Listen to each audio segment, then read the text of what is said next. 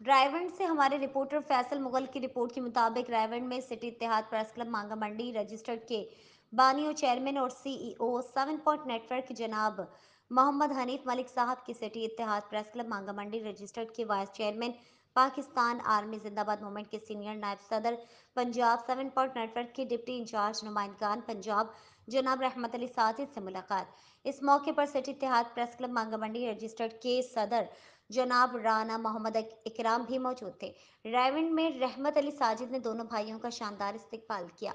मुलाकात के दौरान प्रेस क्लब की मेंबर साजी और अवामी मसाइल के बारे में बातचीत हुई और ये अहद किया गया कि हम मजलूम की आवाज़ बनेंगे और अवामी मसाइल को अला हुकाम तक पहुँचाने में अपना भरपूर किरदार अदा करेंगे।